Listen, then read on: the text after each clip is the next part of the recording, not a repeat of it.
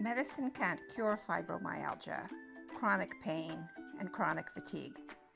But we can heal ourselves on all levels physical, mental, emotional, energetic.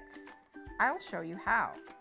You'll make many simple changes to cause your wellness, create the life you want, and transform you into the woman you long to be, living that life healthy and happy.